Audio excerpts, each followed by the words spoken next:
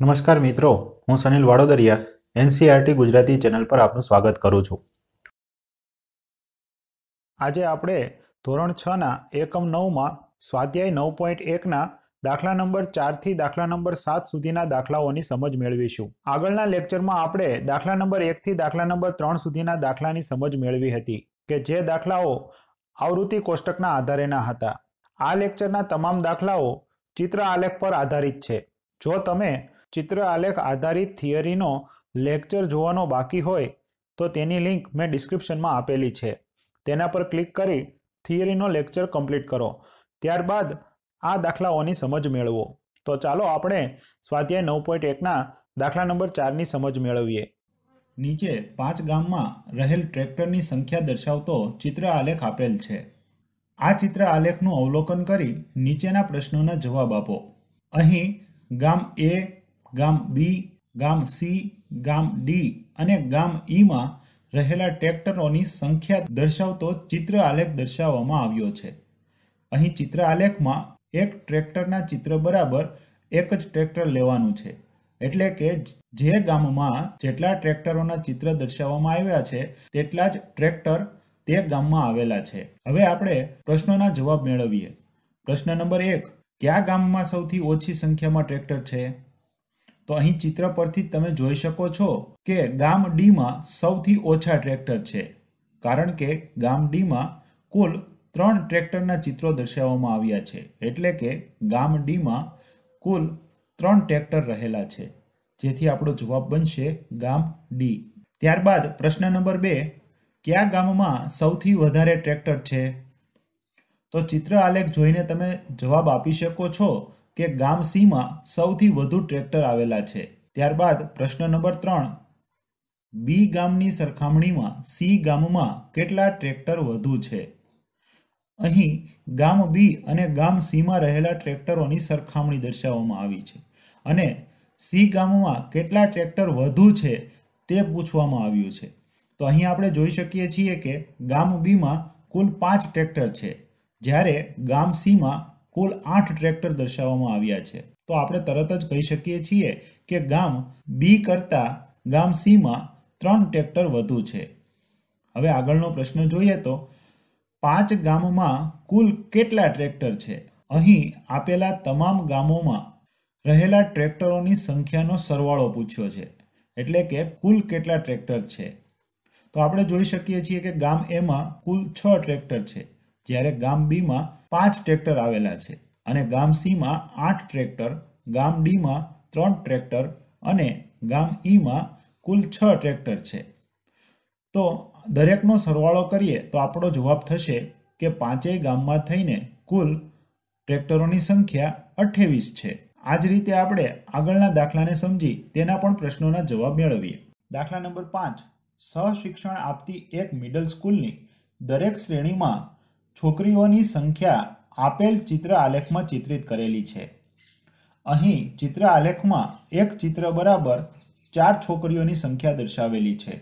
હવે ચિત્ર આલેખમાં આખું ચિત્ર અને અડધું ચિત્ર એમ બંને ચિત્રો દ્વારા ચિત્ર આલેખ તૈયાર કરવામાં આવ્યો છે. અને આપણે જોઈ શકીએ છીએ કે આખા ચિત્ર બરાબર ચાર છોકરીઓ છે. તો અડધા ચિત્ર બરાબર આપણે બે છોકરીઓ લઈશું. આના આધારે આપણે પ્રશ્નોના જવાબ મેળવીએ. પ્રશ્ન નંબર એક, કઈ શ્રેણીમાં સૌથી ઓછી સંખ્યામાં છોકરીઓ હશે?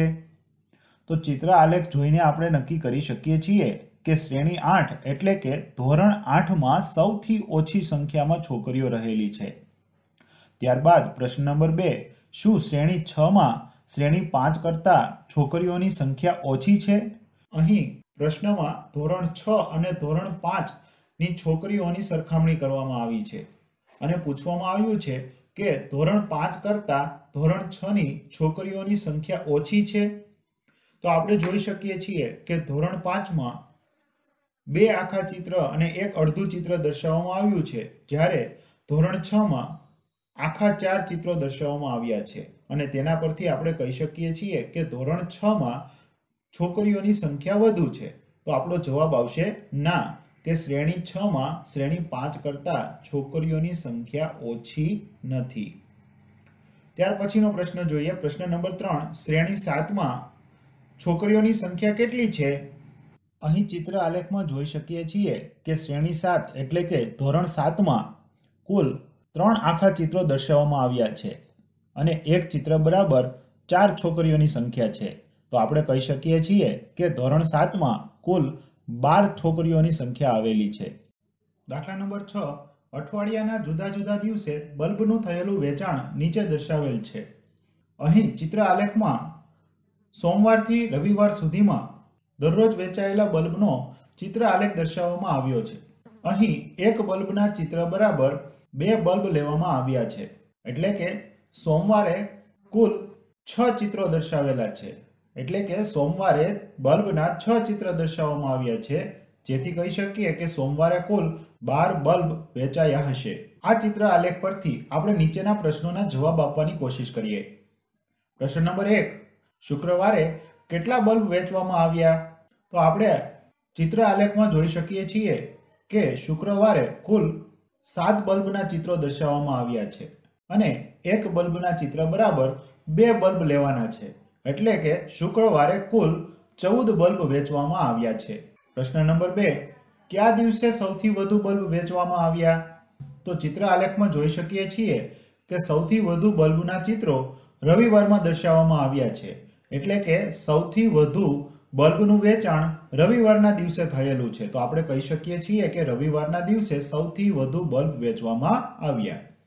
પ્રશ્ન નંબર ત્રણ, કયા દિવસે સરખી સંખ્યામાં બલ્બ વેચવામાં આવ્યા? ચિત્ર આલેખમાં આપણે જોઈ શકીએ છીએ કે બુધવાર અને શનિવારે બલ્બના ચિત્રો ચાર ચાર દર્શાવવામાં આવ્યા છે. એટલે કે બુધવાર અને શુક્રવારે સરખી સંખ્યામાં બલ્બ વેચવામાં આવ્યા છે. પ્રશ્ન નંબર ચાર, કયા કયા દિવસે સૌથી ઓછા બલ્બ વેચાયા તો તેનો જવાબ પણ પ્રશ્ન નંબર ત્રણ મુજબ જ આવશે. અહીં ચિત્ર આલેખમાં જોઈ શકીએ છીએ કે સૌથી ઓછા બલ્બ બુધવાર અને શનિવારમાં બતાવવામાં આવ્યા છે અને તેની સંખ્યા ચાર ચારની છે. એટલે કે બુધવાર અને શનિવારે કુલ આઠ આઠ બલ્બ વેચાયા છે. તો આપણે કહી શકીએ છીએ કે બુધવાર અને શનિવારના દિવસે સૌથી ઓછા બલ્બ વેચાયા છે. પ્રશ્ન નંબર પાંચ. એક બોક્સમાં નવ બલ્બ હોય તો તે અઠવાડિયામાં કેટલા બોક્સની જરૂર પડશે? અહીં આખા અઠવાડિયા દરમિયાન કુલ બલ્બ કેટલા વેચાયા છે તે સૌપ્રથમ આપણે મેળવવું પડશે. અહીં આપણે જોઈ શકીએ છીએ કે સોમવારના દિવસે કુલ છ ચિત્રો દર્શાવવામાં આવ્યા છે. એટલે કે સોમવારે કુલ બાર બલ્બ વેચાયા છે. તે જ રીતે મંગળવારે કુલ આઠ ચિત્રો દર્શાવ્યા છે. તો મંગળવારના દિવસે વેચાયેલા બલ્બની સંખ્યા સોળ થશે. બુધવારના દિવસે ચાર ચિત્રો દર્શાવ્યા છે. એટલે બુધવારે આઠ બલ્બ વેચાયા છે. ગુરુવારના દિવસે પાંચ બલ્બના ચિત્રો છે. એટલે કે દસ બલ્બ વેચાયા છે. તે જ રીતે શુક્રવાર અને શનિવાર અને રવિવારના ચિત્રો પરથી કહી શકીએ કે શુક્રવારે ચૌદ બલ્બ વેચાયા છે. જ્યારે શનિવારે આઠ બલ્બ વેચાયા છે અને રવિવારના દિવસે અઢાર બલ્બ વેચાયા છે અને દરેક બલ્બનો સરવાળો કરીએ તો છ્યાસી મળે છે. હવે આપણને પ્રશ્નમાં કહેવામાં આવ્યું છે કે એક બોક્સમાં નવ બલ્બ છે અને આપણે છ્યાસી બલ્બ એમાંથી વેચાયા છે. તો કુલ કેટલા બોક્સની જરૂર પડશે? હવે અહીં આખા બોક્સની વાત કરી છે. તો આપણે એક બોક્સમાં નવ બલ્બની ગણતરી કરીએ તો દસ બોક્સ હોય ત્યારે કુલ નેવું બલ્બ થશે. અને આપણે છ્યાસી બલ્બની જરૂર છે. તો કહી શકીએ છીએ કે કુલ દસ બોક્સ હશે ત્યારે આપણે છ્યાસી બલ્બ વેચી શકીશું. તો આપણો જવાબ બનશે દસ બોક્સની જરૂર પડશે. દાખલા નંબર સાત. એક ગામમાં ફળોના છ વેપારીઓએ નીચે પ્રમાણે ફળોની પેટીઓ ખાસ ઋતુમાં વેચી, જેનો ચિત્ર આલેખ આપણને અહીં આપવામાં આવ્યો છે. આ ચિત્ર આલેખમાં જોઈ શકીએ છીએ કે એક ચિત્ર બરાબર સો પેટી આપવામાં આવી છે. તેથી અડધા ચિત્ર બરાબર આપણે પચાસ પેટી સમજીશું. હવે આપણે નીચેના પ્રશ્નોના જવાબ આપીએ. પ્રશ્ન નંબર એક, કયા વેપારીએ સૌથી વધુ પેટીઓ વેચી છે?